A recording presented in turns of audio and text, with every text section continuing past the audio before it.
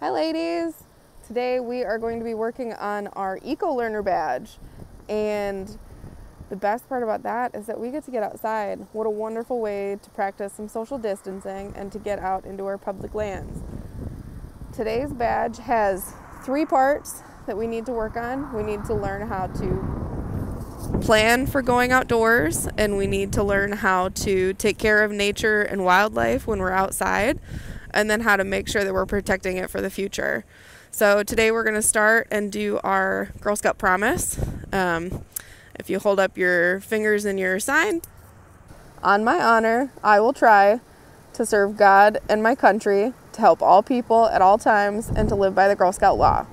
And I will do my best to be honest and fair, friendly and helpful, considerate and caring, courageous and strong, and responsible for what I say and do, and to respect myself and others, respect authority, use resources wisely, uh, make the world a better place, and be a sister to every Girl Scout.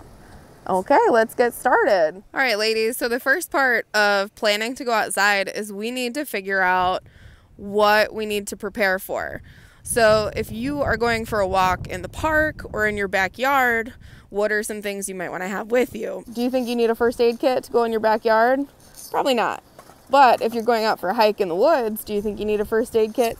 Probably. Some of the other things that you need to think about if you're going out into a wildlife management area, figure out if you're going to bring trash pickers. If you're going out and doing a more intense hike, maybe away from your house, uh, there are some things that you need to consider. The first thing that you need to think about is where you're going. Uh, today, I'm out at the Blue River Public Fishing and Hunting Area, which is a wildlife management area. So it's walk in only. We can't bring our car on the hike. So we're going to take a couple extra things with us, and I will go ahead and show you everything that we've got so you can see how we're being prepared. Okay, I want to go over the things that we have with us to prepare for our hike. So we've got a couple backpacks. Um, we've also got trash bags because we are going to pick up trash and a couple of these trash pickers so that we can pick up trash without touching it with our hands. Um, we've also got plenty of water or reusable stainless steel uh, bottles so that everybody stays hydrated. Do you think that it's important to stay hydrated when you're out walking around or climbing on stuff? Because I certainly do. We've got uh, hand wipes just in case we get a little dirty. We've got some Larabars for the little one. Um, they are wrapped in plastic, so so uh, we will make sure that if she eats those, that we take those out. We've also got some reusable plastic um, snack bags. So this one's got goldfish, and this one has got a special treat because you can't do a Girl Scout event without some Girl Scout s'mores. Um, so those are our snacks that we've got just to keep us a little energized if we need it. Uh, because there's two adults going with us, we've got a first aid kit that's got like band aids and antiseptic and those kind of things just in case we need it. We've also got a very nice pair of binoculars so that we can keep an eye out for birds and other wildlife out here. And then we've also got a knife with us. This is something that only adults should have or only uh, girls who have been trained on how to use it. But we've got it in case we get stuck in any situations that we need to get out of. And that's pretty much what we've got with us to go on our little hike today. Uh, we've also got a couple jackets. We've also got sunglasses and hats and jackets. Um, we've got sunscreen on. We've got uh, bug spray if we need it. So I think we're pretty well prepared to get out there for a little hike for a couple hours today. One of the things that you need to consider if you're going out into a park or into a wildlife management area or uh, state or federal park is what their rules and regulations are. So, this is the sign for the Blue River Public uh, Fishing and Hunting area that we're at today and it goes through and talks about some of the things that are permitted and some of the special area regulations, but it also goes through the things that are prohibited, and these are the things that we need to make sure we're looking out for. Some of the things on the prohibited list is the littering, no tree or vegetation cutting, no disorderly behavior, no swimming, and pretty much taking care of the area. So, we're going to talk about that a little bit more while we're out on the hike, but those are some things to consider in the particular area that you're going in. Some places might not allow you to have glass bottles, they might not allow you to have, you know, bikes or anything like that, or they'll tell you to stay on the trail, and that's what we need to do. What are some things that you girls think that you need to take out if you go out on a hike or on a walk uh, or out to the park or anything?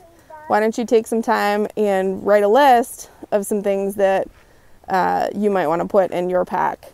And then we'll circle back to activity two when we get on on the trail. All right, bye. As we go, we are going to keep an eye out for what kind of signs of wildlife that we can find. Now, girls, when you're out on your hike, you want to make sure you're keeping out for signs of nature. And see, there's a butterfly right there. Do you think your dog at home is wildlife? No, no. Wildlife is animals that live outside and don't rely on people to feed them or provide things for them. So when you're out on your hike, you want to make sure you're keeping out for signs of wildlife and for nature and bugs and all that kind of stuff because that's what makes it fun. You see something as simple as this little trail right here that's going through the grass? That's probably a game trail. As we're out on the trail, we are keeping our eye out for litter while trying to stay on the trail, and we are picking up trash as we go, and that's the responsible thing to do to take care of the world around us.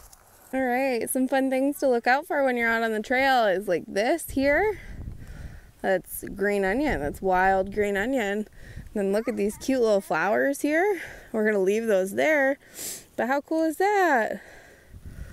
See? Wild green onion right there. Look at the bugs, guys.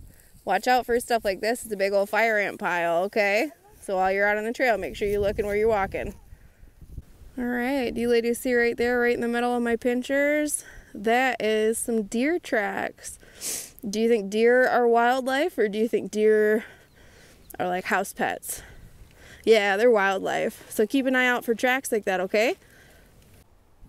When you're out on the trail, make sure you're looking up, not just down, because up is where you find butterflies and birds, some beautiful, beautiful scenery, new buds coming out, flowering trees, all that fun. Stuff. You see something that looks a lot like a branch or something, but is actually a bone. So keep your eyes peeled. All right, ladies, here we are again. Hopefully, you learned something from our little hike in the woods. And the third part of earning your Eco Learner badge is learning how to take care of nature around us. We are going to talk today about the Leave No Trace principle. According to the National Park Service, there are seven steps uh, to follow the Leave No Trace theory when you're in the park. So, we're going to go over that today and learn how we can be respectful of the world around us while learning about it, checking out for signs of wildlife, and all those cool things. The first principle is to plan ahead and prepare for your visit. So, you want to know where you're going, you want to know the regulations and the rules of the park or the area that you're in. You want to prepare for the for extreme weather and potentially emergencies, so you want to know what sort of resources are around in case you get hurt or in case you get stuck and how you're going to get out, who you need to call uh, whether it's the ranger station or it's 911 or anything like that. And also to visit in small groups. So, the best way to make sure that we are leaving no trace on our environment is to visit in small groups because the bigger the group, the more likely you are to trample on things or to leave trash and to cause a disruption to the environment.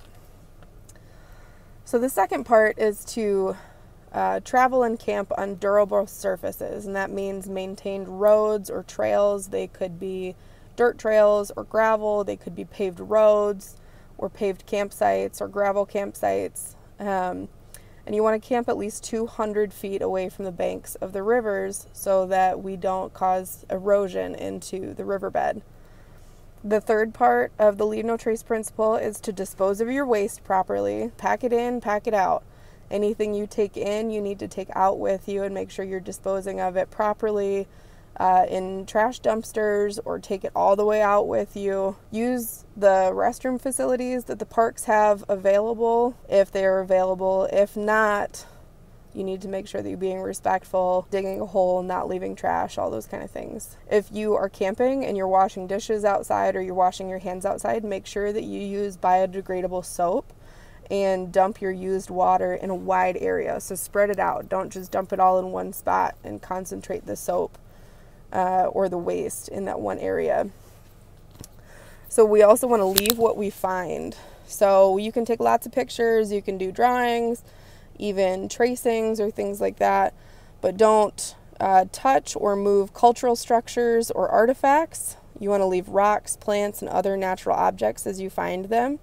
And avoid bringing in non native species. Now, non native species could be plants, they could be bugs, they could be animals one of the big things if you're camping is to make sure that you're buying firewood or finding firewood from the area that you're in so you're not transporting bugs. Another thing is if you're on a boat or if you're fishing and in the waters, you want to make sure that you're washing your boots and washing your boat, making sure that you're draining all the water so you don't uh, transport zebra mussels or any sort of invasive algae. Don't build anything out in the woods or dig trenches or anything because that all disrupts the natural environment.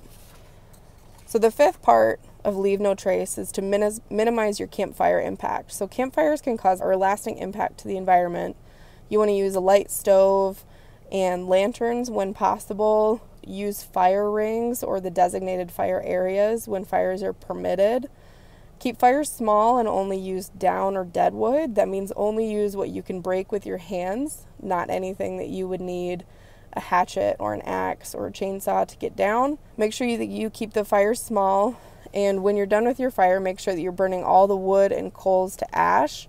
Put it out completely, water, and then scatter or spread out the remains of the fire when they're cool. The sixth part of seven for Leave No Trace is to respect the wildlife. So you want to observe wildlife from a distance, never feed them, never follow them. Store your food and trash securely, either hang it on hooks, hang it from a tree, get it up off the ground, uh, maybe away from your campsite to try to avoid bringing animals into your campsite. If you are taking pets with you, you need to make sure that your pets are on a leash. They are trained so that they're not going to chase the wildlife. Uh, if they can't do that, then you should leave your pets at home. And avoid uh, wildlife during sensitive times like mating season, rutting, spawning, anything like that. Uh, also, avoid nesting, raising their young in winter. You want to avoid them in the winter because food is scarce for them, so they're working really hard to find food to stay alive. And the seventh and last part of the Leave No Trace principles is to be considerate of other visitors. So that's be nice, share the trails, be quiet so that you're not disrupting the sounds of nature. And also, when you're taking a break or you're camping, make sure that you're off the trail so that you're not blocking the way for anybody else. So, those are the seven principles of Leave No Trace according to the National Park Service. If you want to learn a little bit more about this, go to nps.gov uh, to learn more about the National Park System. All right, ladies, so we've talked about all three principles to earn your Eco Learner badge, and now you have to do an activity. I know that with uh, social distancing or maybe shelter in place restrictions, you might not be able to get out and go very far. So you can do this as simple or as elaborate as you and your family want to be. So you are actually going to plan a little trip, a little outing outside and then make it happen. So, the first part of your activity for earning your Eco Learner badge is to figure out with your family or your caregivers where you want to go. It can be your backyard, it can be a park, it can be a park system or a forest, or enjoy some of our public lands. So you want to one, define where you're going, two, you want to look and check the weather and see if there's any extreme weather alerts or anything you should be concerned about. If the weather looks bad, don't go outside, but you want to make sure that you're dressed appropriately, not too cold, not too hot. Make a list for the things that you want to take with you in your pack or just pack a bag. So think about things like snacks and water maybe a first aid kit, maybe you need a sweatshirt, maybe you need a blanket to sit on and have a picnic. Whatever you and your family decide you need for your outing to your backyard or to our public lands is what you need to take with you. And the next step is to actually go on your adventure. get outside, get some fresh air, look for signs of wildlife, so bugs, animals, birds, fish, and different plants and things like that. And always follow the leave no trace principles, even if it's in your own backyard. You want to make sure that you're respecting nature around you. And lastly, for the requirements, we need you guys to take some pictures or show us that you went on your trip and have a great time. Enjoy getting outside. And once you do all of these things, you learn about how to how to prepare, how to take care on your hike, how to look for wildlife. And once you actually go on your outing, then you've earned your Eco Learner badge. So, congratulations. Thank you so much for doing this. And uh, hopefully, we'll get another one out to you soon. Thanks. Bye.